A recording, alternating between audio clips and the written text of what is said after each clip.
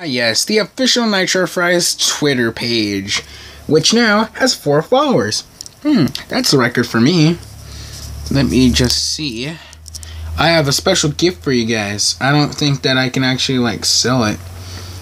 But wait, I just passed it. I just passed it. There's Cinnamon Toast Ken. See that right there? I just made my first shirt. It's I don't know if it's merch, if it's gonna be merch, if I'm actually gonna like start selling this, but it's pretty good. I don't know. It is an actual good T-shirt though. Let me just go check out the site. And this is actually like for real good, man.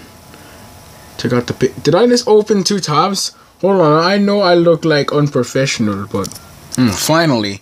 But look at that. I just got these brand new Nitro Fries shirts from Spreadshirt.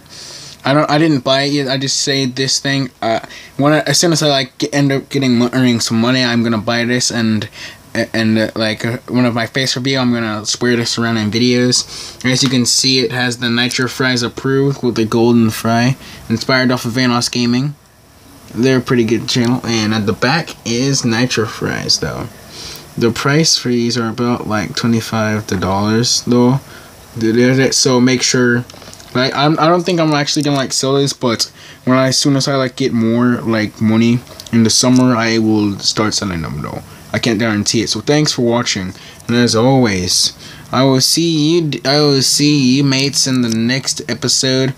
Bye bye.